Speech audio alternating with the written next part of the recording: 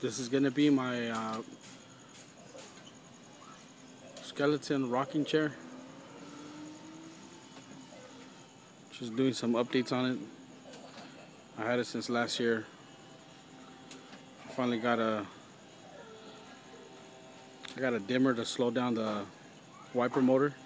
Helps a lot. Makes it look a little bit spookier if it goes slow.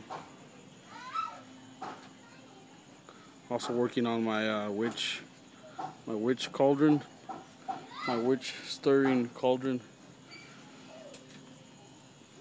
Just started that today. I got the head movement where I want it. I still have to adjust some other stuff on it. It's nowhere near where I want it to be, but started it. Got a couple other projects that I'm gonna do. About three or four more for this year. Let me know what you guys think.